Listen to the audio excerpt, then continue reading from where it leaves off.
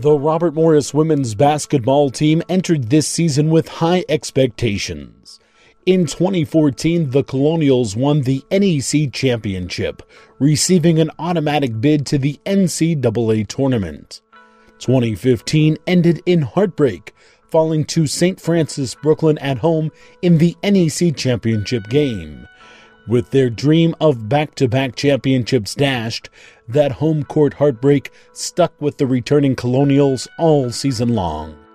Adding to the pressure of the season was the looming retirement of 13 year head coach Sal Buscaglia, meaning associate head coach Charlie Buscaglia became the coach in waiting, poised to take the reins in the fall of 2016. I don't want the focus to be on me. Like everybody tells me, you know, let's win a championship. But that's not, you know, your last season. That's not what's important. What's important is that this team wins a championship for them, not for Coach Sal. It's for them, just like any team. So I'm not taking from the perspective that's just going to be special to go out with a win. No matter what happens, it is for these young ladies who give everything they have to myself, to Coach B, every day. I want, I want them to win a championship just for them. It does not for me. The 2015 2016 season began with a bang for the Colonials, defeating West Virginia Wesleyan 124 59 in their first game of the season. But it wasn't always smooth sailing for the Colonials. We had a lot of hiccups during the year trying to find what we do best. Uh, and I think we found that, and I think we really came together. So I think you feel, you know, a lot better about yourselves when you're on a little bit of a streak. And we do feel good about ourselves as far as how we've been playing, you know, no question about that. But the Colonials would have a tall test ahead of them. After defeating Sacred Heart in Fairfield, Connecticut, in a gym the Colonials hadn't won in since 2008, the Robert Morris women's basketball team would be seeded against the best team in college basketball for the last three seasons the UConn Huskies. The Colonials were going to need all of the support they could get, and that's exactly what happened in their send off to Connecticut.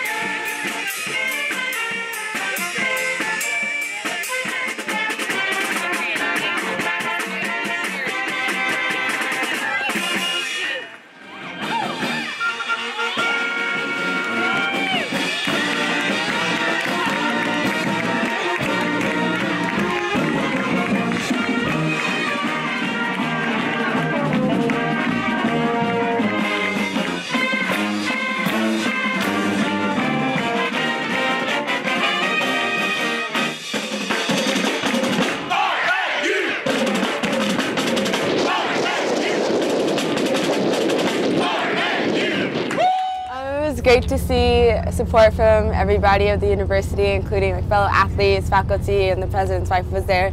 So it was awesome to see just how many people were willing to take time out of their day to say bye to us.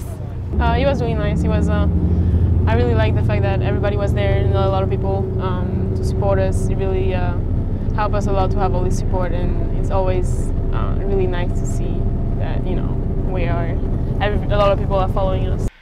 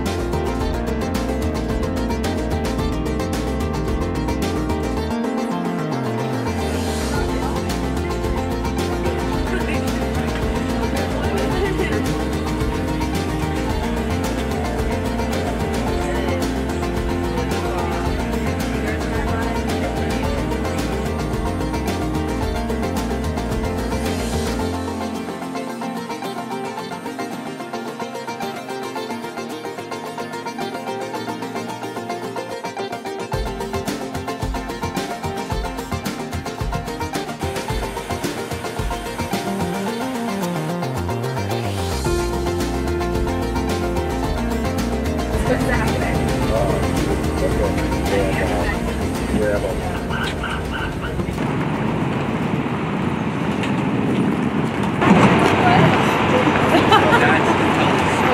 does say it's like when you drop the food in the fish tank, all the fish come.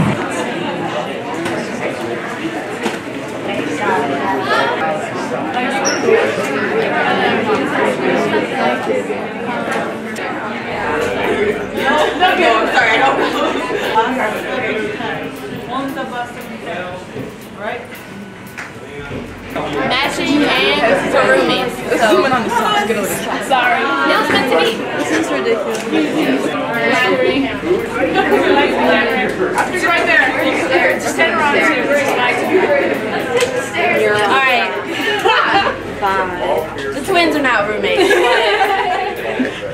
It'll be all right. we can be roommates. We're roommates. But the trip to Connecticut couldn't be all business for the team that became a family. I'm not dancing.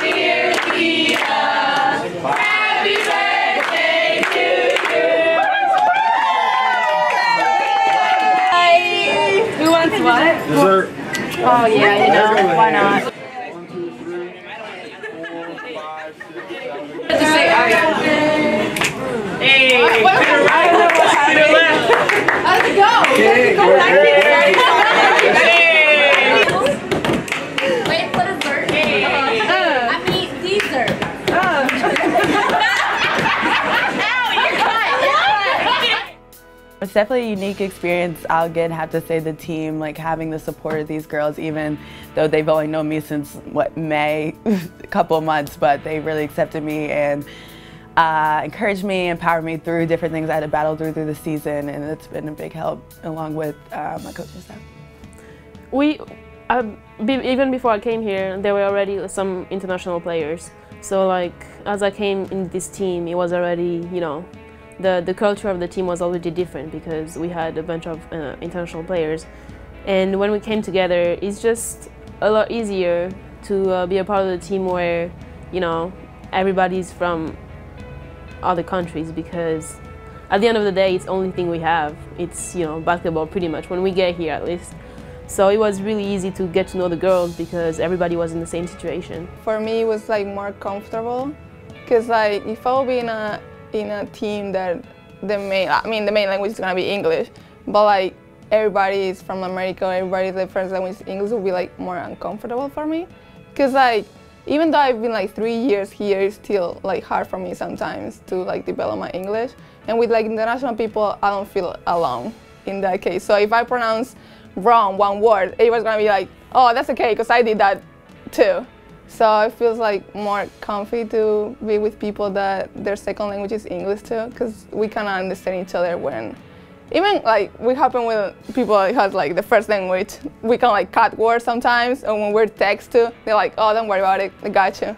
So it's kind of like that's why I really like about this team because they don't judge you because you don't speak like perfect English. One of the main reasons why I wanted to come to Art more specifically was the diversity on the team. I wanted to be able to have friends for for life lifelong friends that were from all over the world and I, where I could travel there and just like have so many different cultures experience and everything like that. To be honest, I caught like a little chill coming into UConn because it's the team I like grew up watching. But then once I started practice, it was like any other gym. We've been in big arenas before, so it was like any other gym when you started practicing, same court. Uh, I think that this arena is really great. It's just the fact that we're in the NCAA tournament. It just makes it even much more, much more of a special moment. So I'm just really excited to play on this court tomorrow. Um, honestly, it really is a blessing. We worked hard for this, and that's basically all I can say. We just worked hard. We, we know that this is where we want to go, and we just worked preseason, during the season. In the summer, we just worked really hard for this. It's awesome. It's a beautiful gym. Um, we've been we've been in areas and arenas like that, so it's not that surprising. But it's it feels nice. It's a good atmosphere. I like it. Uh, I think the warm up is going to be big.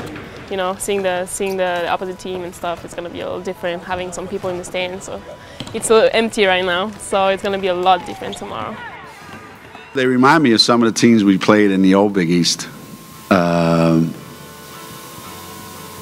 they they don't necessarily um, shoot the ball as as many times from as many crazy places as DePaul does, but they move they move people and they move the ball like DePaul does. They're disciplined like Villanova was when we played them all the time. Um,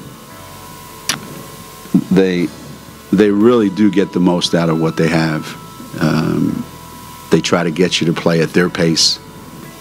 Um, they really do a great job of capitalizing on whatever mistakes you make defensively. Um, and I'm, I'm always amazed when I when, when I'm in this situation because uh, I remember going to the NCAA tournament um, with a team just like Robert Morris, you know, 1988, 1989. You know, those years when you knew that we have to be smarter, which we were. We have to be a little bit tougher. We have to make sure that we get a great shot every time down the floor, and and um, and that's how they play. You know, they play with a a real discipline that I think um, makes it makes it hard to play against because they make you kind of impatient. That's how I would describe it. You have to be patient because if you get impatient, they. So we're going to try to make them a little less disciplined, I hope. We're going to go out there, we're going to work hard, and we're going to try to play our game, not play their game. Um, we're just really excited, and we really appreciate the opportunity. I mean, to play against the best team in the country right now. I mean, Coach House last year, it's been an extra motivation since day one for us. We just uh, wanted him to finish his coaching career on a positive note, and I feel like we did at some point, and we're gonna play as hard as we can tomorrow, and you know, help him be happy, and you know, I am. and we wish him the best of luck for you know after his coaching career. Yeah, we're definitely not going to approach this game um, any different than any other game we played this season. That's what the, co- the coaches want us to do, then that's what we're going to do. The fact that um, it could be his last game um, definitely has, you know, a lot of motiv- it gives us a lot of motivation. But um, I think we're ready, and we'll go out there and we'll play, you know, as hard as we can, like we always have, and we'll do a little bit more for him to that tomorrow. I've heard the last game for now for you know weeks, months. You know, it's your last game, it's your last practice, it's your last film session. You know, going into the conference tournament, it's the last this, last that. I don't, you know, I don't think about that being as my last game. This, this is not for me. This is not about me. This is about those young ladies. And if we focus anything away from them, we're doing them an injustice. You know, it's Ashley Ravelli. She's played her four years. Slew Manleys. They played four years, gave their heart and soul to me and this team. And they come from all over the world. You know, and they, their parents trusted me and Coach B, uh, and you know, to take care of their daughters. You know, uh, the hardest thing for me is not going to be the winning or losing the game. It's going to, and it's not going to be like every day in the, in the practice and the film sessions. The hardest thing, believe me, and I don't know how I'm going to react, uh, is the interaction I have with one of the, you know, we're we're not the finest team in the land. Connecticut is the finest team in the land, uh, in the universe. There's no question. But I, in my view, I have the finest student athletes in the universe. And that's what I'm going to miss. I'm going to miss the interaction on a daily basis with fine young ladies. Okay, that's what I miss. And it's what's really even more difficult is that you know Ashley's going back to Italy, uh, Lou's going back to France. Okay, and uh, and Nikki will be back for one year, so I will see her, but eventually she'll go back to Greece. So it's not like they're going to be in this this country. Uh, so thank God, and I don't do much of Facebook. I don't understand Facebook too much. Uh, I'm not. People say they have posts on Facebook. I don't know what the heck you're talking about because I don't know how to even get the posts. But I have captured the messaging So I know how to message. So that's going to be the hardest thing. The daily interaction with the fine young ladies. So I think they're the number one team in the country when it comes to student athletes.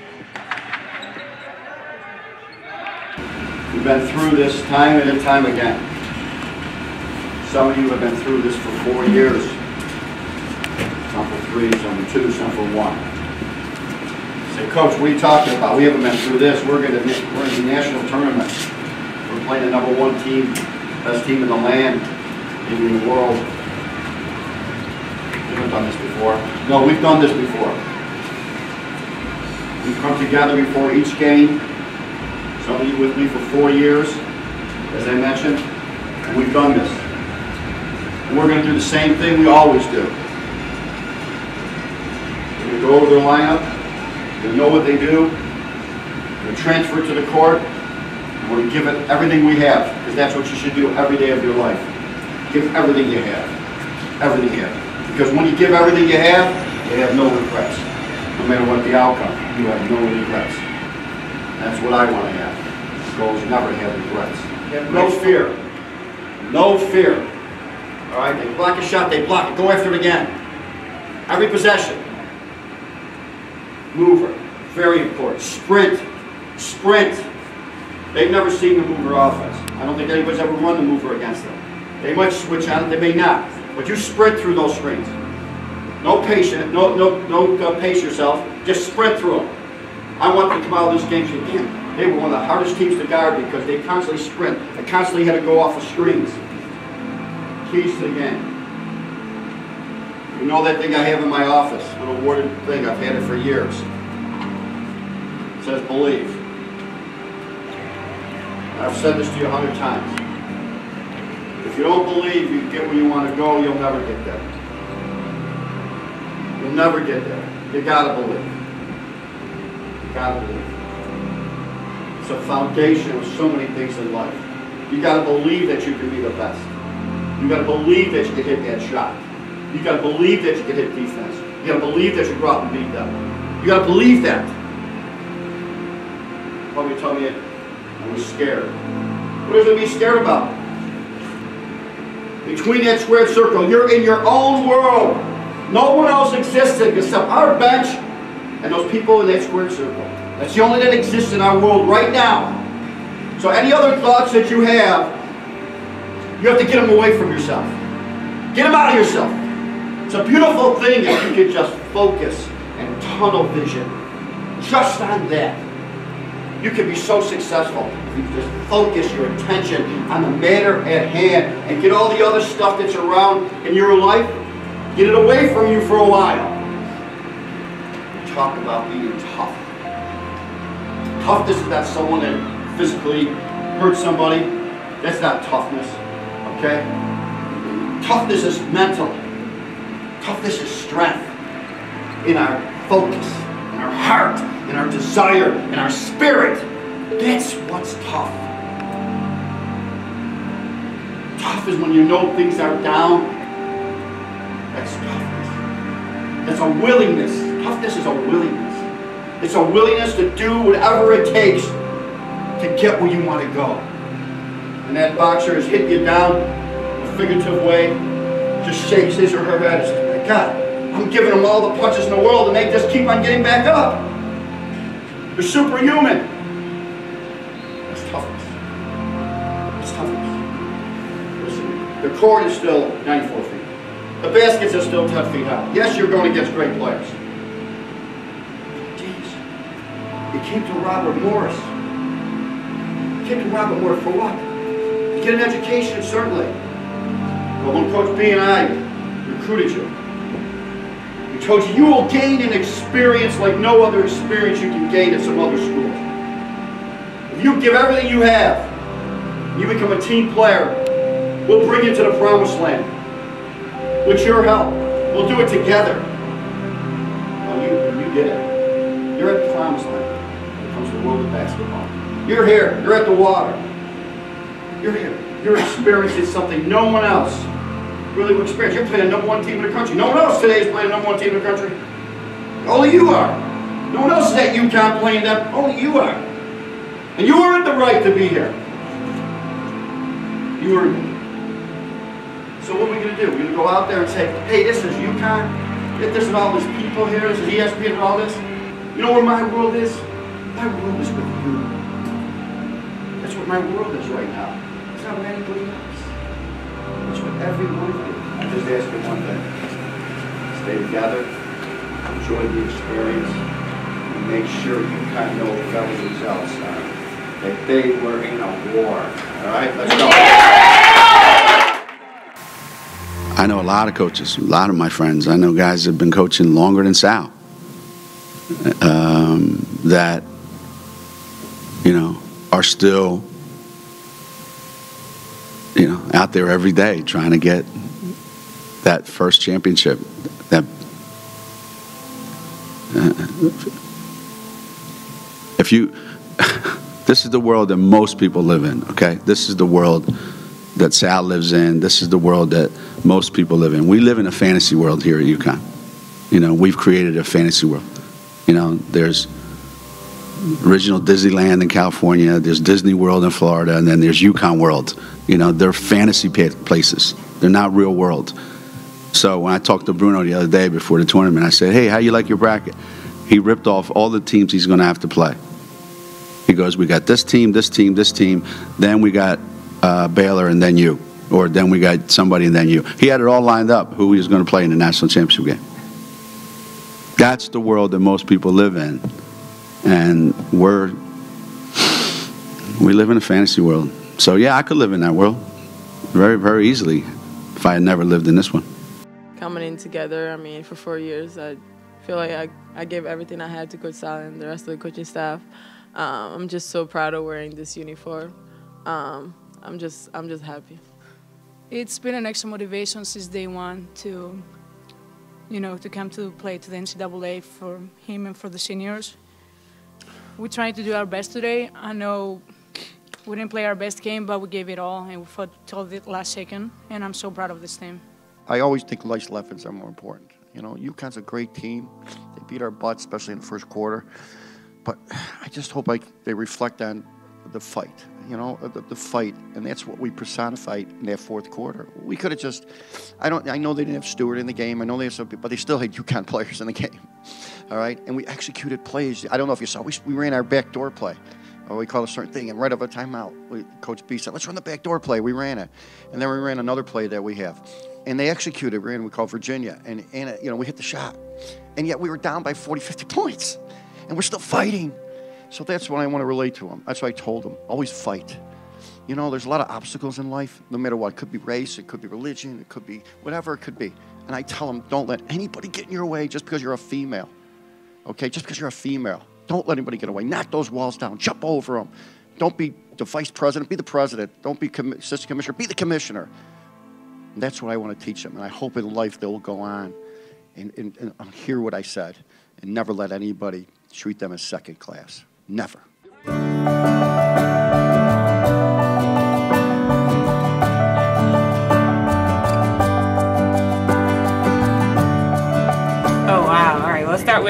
Lou. Has such a quiet spirit, so she teaches me the game of finesse to be always be patient. That's why I love working out with her, because I have such an aggression for the game, and Lou is more subtle. She's more patient, and that really teaches me how to play more controlled and more fundamental.